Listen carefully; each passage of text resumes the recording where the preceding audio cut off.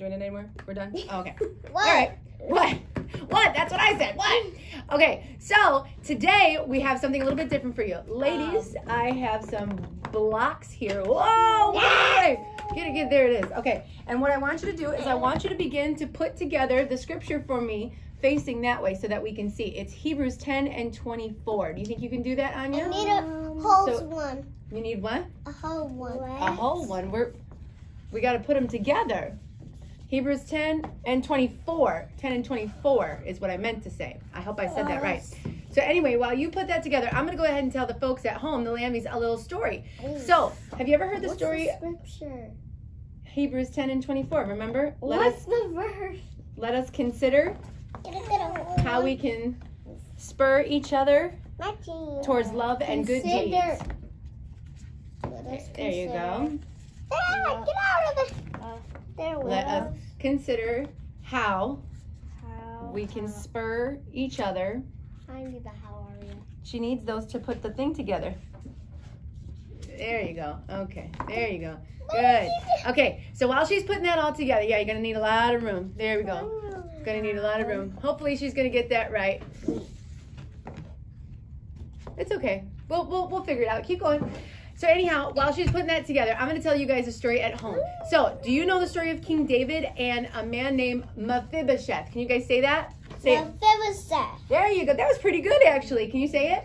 Mephibosheth. Mephibosheth. That's right. that a lesson. It was one of our lessons here in kids ministry. That's why I want to tell the kids at home. So, David was the king, right? And here's what happened. Saul was gone, and his son Jonathan, who was David's very best of friend, was also gone. They both had died, right?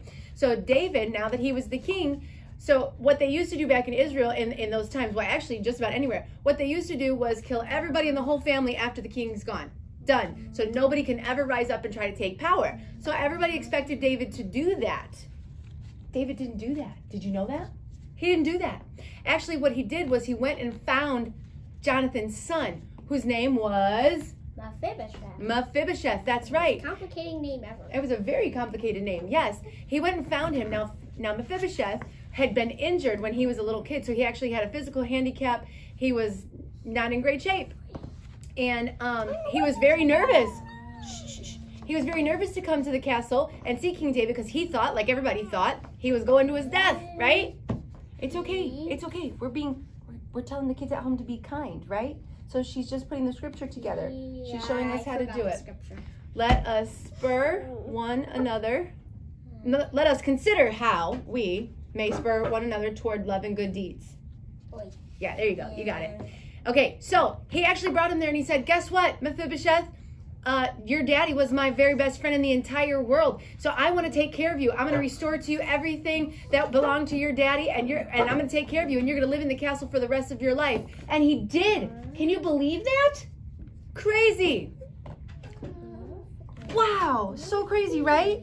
But he was kind to Mephibosheth. That's that was the whole point. And so what I want you guys to do, you you good? Okay, we have a few extra pieces, huh? I'm gonna try and build a tower. Uh, I think those go in there somewhere, but we'll figure that part out. So what I want you guys to do is I want you to throw kindness around like confetti. Whew, let's see if we can get it to go, huh? Woo! That was fun, huh? throw kindness around like confetti everywhere that you go. That's right. I want you to throw kindness around, make everybody have kind days and fun days at your house, okay? It's easy to do. All you have to do is be kind. Now, Sissy, since you did take one of the blacks that she was playing with, can she have one back now? There we go. That's kind. Yay. We love kindness.